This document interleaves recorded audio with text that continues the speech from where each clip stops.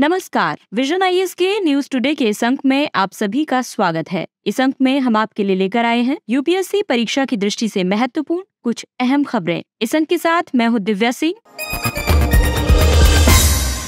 आइए सबसे पहले बात करते हैं इस अंक की हेडलाइंस के बारे में। संचार और सूचना प्रौद्योगिकी पर संसदीय स्थायी समिति ने इंटरनेट शटडाउन का रिकॉर्ड नहीं रखने पर दूरसंचार विभाग की आलोचना की। ग्लोबल क्वालिटी इंफ्रास्ट्रक्चर इंडेक्स 2021 ने भारत की प्रत्यायन प्रणाली को पांचवा स्थान दिया। भारतीय भूवैज्ञानिक सर्वेक्षण ने जम्मू कश्मीर में लिथियम के भंडार की खोज की। पांचवी अंतर्राष्ट्रीय समुद्री संरक्षित क्षेत्र कांग्रेस कनाडा के वैंकूवर में सम्पन्न हुई। भारतीय दूरसंचार विनियामक प्राधिकरण ने एकीकृत लाइसेंस के तहत डिजिटल कनेक्टिविटी इंफ्रास्ट्रक्चर प्रोवाइडर प्राधिकार के आरंभ पर परामर्श पत्र जारी किया। एक अध्ययन के अनुसार, हिमनद झील के टूटने से उत्पन्न बाढ़ से लगभग तीन मिलियन भारतीयों को खतरा है। और आइए अब खबरों पर विस्तार से चर्चा करते हैं।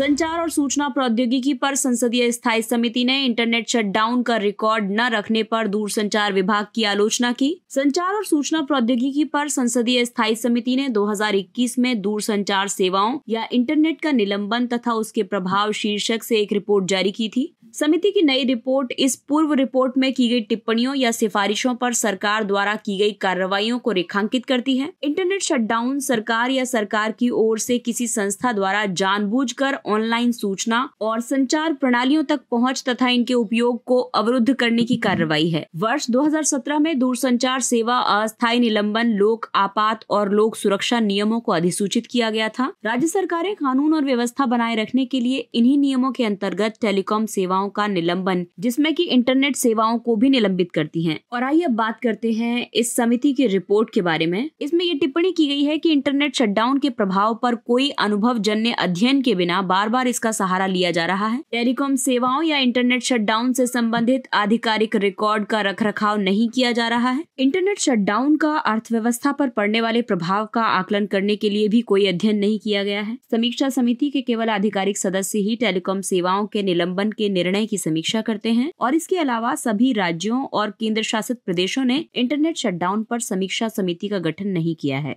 इसके लिए समिति ने ये सिफारिशें की हैं कि इंटरनेट शटडाउन का अर्थव्यवस्था पर प्रभाव और लोक आपात तथा लोक सुरक्षा के दौरान इसकी प्रभावशीलता का आकलन करने के लिए एक गहन अध्ययन कराया जाना चाहिए। शटडाउन हटाने के लिए गृह मंत्रालय के साथ समन्वय में आनुपातिकता का स्पष्ट सिद्धांत प्रस्तुत किया जाना चाहिए और प्रक्रिया निर्धारित की जानी चाहिए। इससे दूर संचार सेवाओं के निलंबन संबंधी नियमों के किसी भी दुरुपयोग को रोकने में मदद मिलेगी? डीओटी और गृह मंत्रालय दोनों को सभी इंटरनेट शटडाउन के केंद्रीकृत डेटाबेस को बनाए रखने के लिए एक तंत्र की स्थापना करनी चाहिए। समीक्षा समिति की संरचना का विस्तार करके इसमें गैर सरकारी सदस्यों को भी शामिल किया जाना चाहिए। इससे दूर संचार निलंबन नियम 2017 के तहत बेहतर नियंत्रण और संतुलन सुनिश्चित हो सकेगा। और साथ में ये भी सुनिश्चित किया जाना चाहिए कि सभी राज्य या केंद्र शासित प्रदेश समीक्षा समितियों का गठन करें।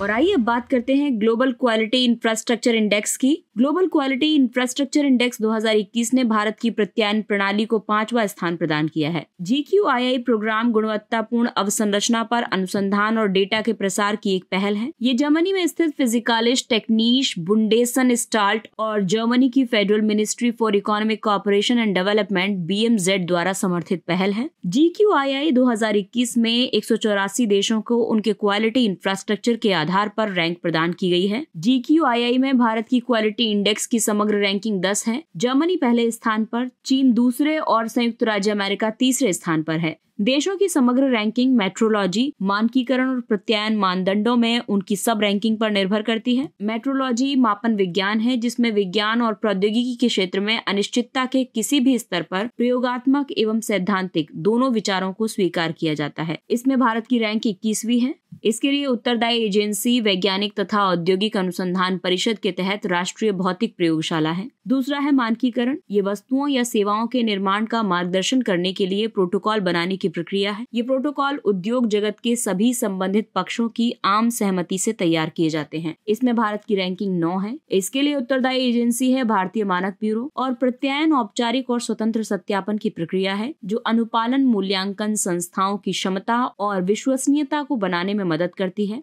कन्फर्मिटी असेसमेंट बॉडीज यानी अनुपालन मूल्यांकन संस्थाएँ, परीक्षण, प्रमाणन, निरीक्षण जैसे कार्यों को संपन्न करती हैं। इसमें भारत की रैंकिंग पाँच है और इसके लिए उत्तरदायी एजेंसी है भारतीय गुणवत्ता परिषद। गुणवत्तापूर्ण अवसंरचना का महत्व तो इसलिए भी है क्योंकि व्यापारिक भागीदारों के बीच विश्वसनीयता और भरोसा पैदा करके अंतर्राष्ट्रीय सहयोग हासिल करने में मदद करती है। इसके अलावा विशेष रूप से स्वास्थ्य और सतत विकास जैसे क्षेत्रों के लिए गुणवत्ता एवं विश्वसनीयता की नींव रखती है। भारतीय भूवैज्ञानिक सर्वेक्षण ने जम्मू कश्मीर में लिथियम के भंडार की खोज की। पहली बार भारतीय भूवैज्ञानिक सर्वेक्षण ने केंद्र शासित प्रदेश जम्मू कश्मीर के रियासी ज़िले के सलाल हैमाना क्षेत्र में लिथियम के भंडार होने का अनुमान लगाया। जीएसआई के मुताबिक ये भंडार प्रारंभिक अन्वेषण चरण में है, यानी ये जी श्रेणी का है। यहाँ 5.9 मिलियन टन लिथियम होने का अनुमान लगाया गया है। लिथियम को सफ़ेद सोना भी कहा जाता है। आवर्त सारणी में ये सबसे पहला शार खनिज है। ये एक अलोह धातु है। ये सबसे हल्की ठोस धातु है। इसे ब्राइन अथवा खनन की गई चट्टानों से निकाला जाता है। इसका घनत्व तो सभी धातुओं में सबसे कम है। वैश्विक लिथियम संसाधन का 50 प्रतिशत बोलीविया, चिली और अर्जेंटीना में है। दक्षिण अमेरिका के ये तीन देश लिथियम ट्रायंगल कहलाते हैं। लिथियम उत्पादन में ऑस्ट्रेलिया विश्व में सबसे आगे है और भारत ने कर्नाटक के मांड्या ज़िले के मार लागल्ला अल्ला पटना क्षेत्र में मौजूद आग्नेय चट्टानों में अपने प्रथम लिथियम भंडार की की खोज की है। लिथियम का महत्व इसलिए भी है क्योंकि ये रिचार्जेबल बैटरी और ऊर्जा भंडारण समाधान का एक मुख्य घटक है। लिथियम ऑक्साइड का उपयोग विशेष ग्लास और ग्लास सिरेमिक में किया जाता है। ऊर्जा संक्रमण के लिए ये बहुत ही महत्वपूर्ण खनिज है। साथ ही नेट ज़ीरो उत्सर्जन के लक्ष्य की प्राप्ति में लिथियम पर अत्यधिक निर्भरता होगी। जीएसआई खान मंत्रालय से संबद्ध कार्यालय है। जीएसआई की स्थापना अठारह सौ इक्यावन में की गई थी। इसे आरंभ में रेलवे के लिए कोयले के भंडार का पता लगाने के लिए स्थापित किया गया था। इसका मुख्यालय कोलकाता में है। देश भर में इसके छह क्षेत्रीय कार्यालय हैं। ये भू वैज्ञानिक गतिविधियों को संपन्न करने वाला भारत का वैज्ञानिक संगठन है।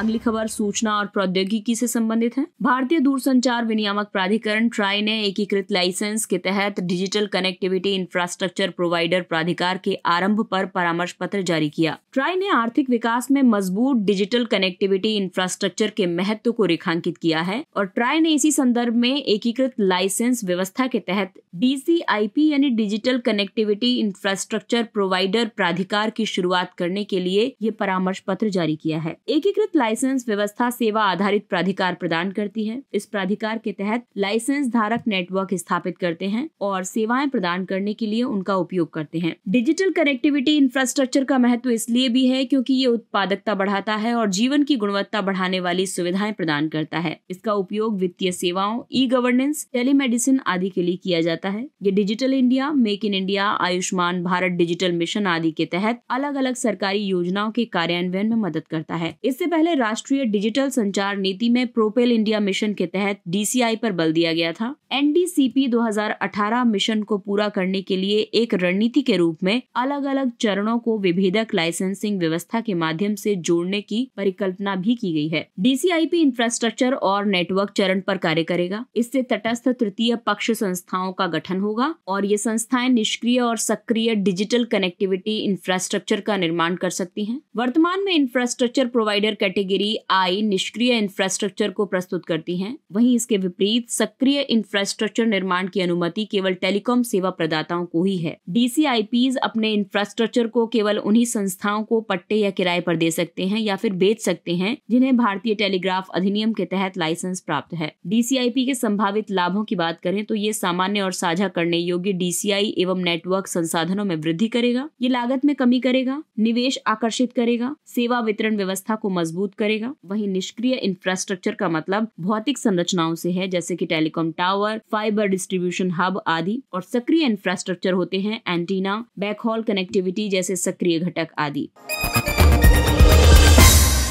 और अब बात करते हैं महासागर की। जैसा कि हम सभी जानते हैं कि पृथ्वी का लगभग 70 प्रतिशत हिस्सा महासागर है। तो ऐसे में महासागरों को संरक्षित करने के लिए पांचवी अंतर्राष्ट्रीय समुद्री संरक्षित क्षेत्र कांग्रेस कनाडा के वैंकूवर में संपन्न हुई है। इसका शॉर्ट फॉर्म है इम्पैक्ट इम्पैक्ट फाइव जो है वो एक वैश्विक मंच है। ये समुद्री संरक्षित क्षेत्रों से संबंधित सूचना साझा करने, संरक्षण के लिए प्रेरित करने और आवश्यक कदम उठाने के लिए पेशेवर महासागर संरक्षकों और उच्च स्तरीय पदाधिकारियों को एक साथ लाता है। इसका लक्ष्य 2030 तक 30 प्रतिशत वैश्विक महासागरों का संरक्षण करना है। ये लक्ष्य 30-30 अभियान के तहत किया जाएगा। ये समर्थन करता है कुनमिंग मॉन्ट्रियल वैश्विक जैव विविधता फ्रेमवर्क का, हमारा सागर, हमारा भविष्य, हमारी ज़िम्मेदारी कॉल फॉर एक्शन का, इसके अलावा महासागर संरक्षण संकल्प के समर्थन का। इसका आयोजन होस्ट फ़र्स्ट नेशन ने अंतर्राष्ट्रीय प्रकृति संरक्षण संघ, कनाडा सरकार की, Canadian Parks and Wilderness Society तथा ब्रिटिश कोलंबिया प्रांत के साथ मिलकर संयुक्त रूप से किया था। समुद्री संरक्षित क्षेत्र महासागर का वो भाग होता है, जहाँ सरकार मानवीय गतिविधियों पर रोक लगा देती है। वर्तमान में महासागरों का लगभग सात दशमलव छह पाँच प्रतिशत भाग समुद्री संरक्षित क्षेत्र द्वारा कवर किया गया है। भारत के महत्वपूर्ण एम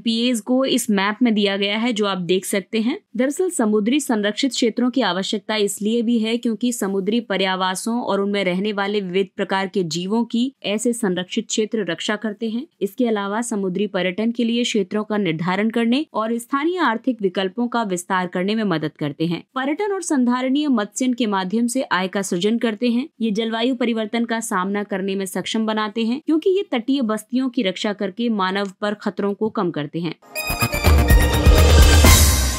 और आइए अब बात करते हैं जलवायु परिवर्तन से होने वाले जोखिम के बारे में। एक अध्ययन के मुताबिक हिमनद झील के टूटने से उत्पन्न बाढ़ से लगभग तीन मिलियन भारतीयों को खतरा है। ये ग्लेशियर लेक आउटबर्स फ्लड यानी कि जीएलओएफ के सबसे अधिक जोखिम वाले क्षेत्रों का पहला वैश्विक आकलन है। ग्लेशियर लेक आउटबर्स फ्लड की परिघटना हिमनदों के पीछे हटने से निर्मित अस्थिर प्राकृतिक बाँध के कारण घटित होती है। जब हिमनद पीछे हटते हैं तो ज़मीन पर बड़े गड्ढों का निर्माण हो जाता है और बाद में इनमें जल भर जाता है और ये झीलों का रूप ले लेते हैं। इन्हें हिमोड़ कहा जाता है। इनमें मलबे और बर्फ़ के ढेर जमा होते रहते हैं। जीएलओएफ के कारण जलवायु परिवर्तन से बर्फ़ पिघलने लगती है और जल का प्रवाह बढ़ जाता है। इससे जल के दबाव में वृद्धि होने लगती है या फिर झील की सीमाओं में संरचनात्मक कमज़ोरी आ जाती है। भूकंप या क्रायोसिज्म, यानी कि ग्लेशियल क्रायोस्फीयर की गैर गैर विवर्तनिक भूकंपीय परिघटना, इसकी वजह से भी ग्लेशियर लेक आउटबर्स फ्लड की घटना घटित होती है। वहीं चट्टान या बर्फ़ के विशाल खंड के भूस्खलन या हिमस्खलन भी जीएलओएफ को जन्म देते हैं। बर्फ़ के नीचे ज्वालामुखी उद्गार की वजह से भी जीएलओएफ की घटनाएँ देखी जाती हैं। भारी वर्षा या बर्फ़ के पिघलने से हिमनद में जल का बड़े पैमाने पर विस्थापन होता है। जीएलओएफ की घटनाओं को रोकने के लिए राष्ट्रीय आपदा प्रबंधन प्राधिकरण ने कई दिशा निर्देश दिए हैं, जैसे की खतरनाक झीलों की पहचान करके उनके मानचित्र तैयार किए जाएँ, मानसून के महीने के दौरान नई झीलों के निर्माण सहित जल निकायों में बदलाव का पता लगाने के लिए सिंथेटिक अपर्चर रडार इमेजरी का उपयोग किया जाए। इसके अलावा उच्च जोखिम वाले क्षेत्रों में निर्माण और विकास कार्य को प्रतिबंधित किया जाना चाहिए। साथ ही संवेदनशील क्षेत्रों में मज़बूत पूर्व चेतावनी प्रणाली स्थापित की जानी चाहिए। और आइए अब बात करते हैं कुछ अन्य महत्वपूर्ण सुर्खियों के बारे में। उच्च मूल्य ऋण सूचीबद्ध संस्थाओं के लिए गवर्नेंस मानदंड। भारतीय प्रतिभूति और विनिमय बोर्ड ने एक एच e में संबंधित पक्षकार लेन देन के लिए कॉरपोरेट गवर्नेंस नियम प्रस्तावित किए हैं। एच e उन कंपनियों को कहा जाता है, जिनके पास कम से कम 500 करोड़ रुपए की सूचीबद्ध, गैर परिवर्तनीय ऋण प्रतिभूतियाँ हैं, जहाँ 90 प्रतिशत या इससे अधिक शेयर धारक संबंधित पक्षकार हैं। वहाँ आरपीटीज यानी कि संबंधित पक्षकार लेन देन को शेयर धारकों द्वारा अनुमोदन करने के लिए प्रस्तुत किया जाना चाहिए। आरपीटीज मानदंडों को केवल सूचीबद्ध गैर परिवर्तनीय ऋण प्रतिभूतियों वाले एच यानी कि high value debt listed entity पर ही लागू किया जाना चाहिए। यदि पचहत्तर प्रतिशत या अधिक मूल्य के डिबेंचर धारकों की ओर से आपत्तियाँ प्राप्त होती हैं, तो निदेशक मंडल को ये सुनिश्चित करना चाहिए कि आरपीटीज यानी कि संबंधित पक्षकार लेन देन से संबंधित एजेंडा वापस ले लिया जाएगा। अगला टॉपिक है इलेक्ट्रिसिटी मार्केट रिपोर्ट 2023 इस रिपोर्ट को अंतर्राष्ट्रीय ऊर्जा एजेंसी ने जारी किया है। यूक्रेन पर रूस के आक्रमण से उत्पन्न वैश्विक ऊर्जा संकट के दौरान 2022 में विश्व में विद्युत की मांग लचीली बनी रही थी। आगामी तीन वर्षो में नवीकरणीय और परमाणु ऊर्जा की वैश्विक विद्युत आपूर्ति के विकास में सबसे प्रमुख भूमिका होगी। नवीकरणीय और परमाणु ऊर्जा नब्बे प्रतिशत से अधिक अतिरिक्त ऊर्जा मांग को पूरा करेंगी। भारत के संबंध में इसमें यह निष्कर्ष दिया गया है की दो से दो 2025 के दौरान ऊर्जा मांग में प्रतिवर्ष औसतन लगभग पाँच दशमलव छह प्रतिशत की वृद्धि होगी। आयातित गैस की कीमतों में वृद्धि के कारण 2022 में गैस आधारित उत्पादन में 36 प्रतिशत की गिरावट आई थी। इसके अलावा अधिकतर विद्युत उत्पादन कोयला आधारित है। इसके कारण 2025 तक इससे जुड़े सीओ उत्सर्जन में 2022 के स्तर से 8 प्रतिशत की वृद्धि होने की संभावना है। ये वृद्धि सीओ तीव्रता में गिरावट के बावजूद होगी।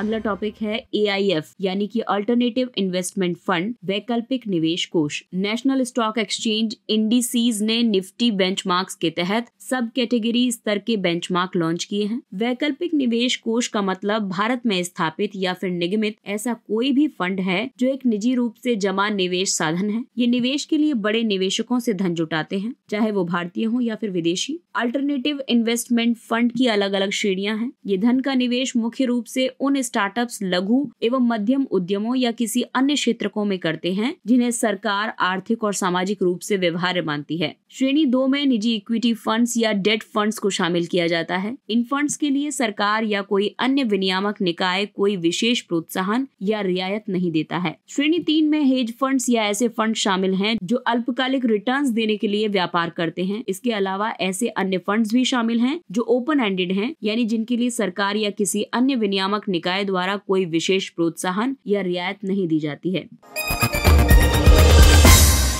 अगला टॉपिक है फॉर्मूला ई रेस भारत में पहली बार top tier motor sport series formula E race का आयोजन होगा। इससे भारतीय मोटर स्पोर्ट्स को काफ़ी बढ़ावा मिलेगा। फॉर्मूला ई का मतलब इलेक्ट्रिक है। इसमें रेसिंग कार पूरी तरह से बैटरी द्वारा संचालित होती हैं। ये भविष्य में इलेक्ट्रिक वाहनों को अपनाने की दिशा में बदलाव पर केंद्रित है। ये एक समय में एक रेस और एक शहर की अवधारणा पर आधारित है। ये पहला ऐसा वैश्विक खेल है जिसे शुद्ध शून्य कार्बन फुटप्रिंट के साथ प्रमाणित किया गया है। इस रेस में रेसिंग कारें 250 किलोवाट की बैटरी से संचालित होती हैं, साथ ही ये 280 किलोमीटर प्रति घंटे तक की गति से चल सकती हैं। ये कारें संधारणीयता और एक हरित विश्व को बढ़ावा देती हैं।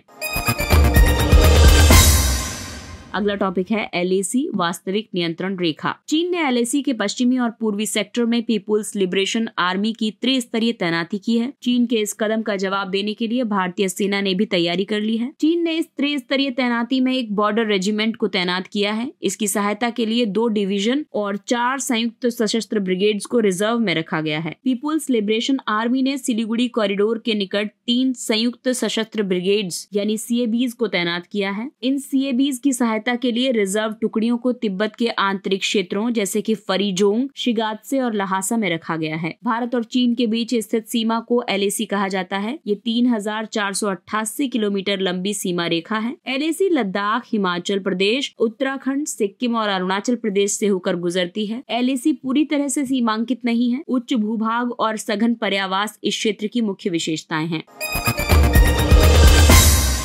नॉर्ड स्ट्रीम एक नई रिपोर्ट में ये दावा किया गया है कि 2022 में नॉर्ड स्ट्रीम पाइपलाइनों को नष्ट करने का काम अमेरिका और नॉर्वे ने किया था। नॉर्ड स्ट्रीम यूरोप में जल की सतह के नीचे गैस पाइपलाइनों का एक नेटवर्क है। इस नेटवर्क का निर्माण बाल्टिक सागर के माध्यम से रूस से जर्मनी तक प्राकृतिक गैस की आपूर्ति करने के लिए किया जाता था। ये उत्तर पश्चिमी रूस के वाइबोर्ग से पूर्वोत्तर जर्मनी के लुबमिन शहर के बीच स्थित है। इसकी लंबाई 1224 किलोमीटर है। इसका परिचालन 2011 में शुरू किया गया था। अनिश्चित काल के लिए बंद होने से पहले नॉर्ड स्ट्रीम पाइपलाइन यूरोप के पश्चिमी और दक्षिणी हिस्सों में भी गैस की आपूर्ति करती थी।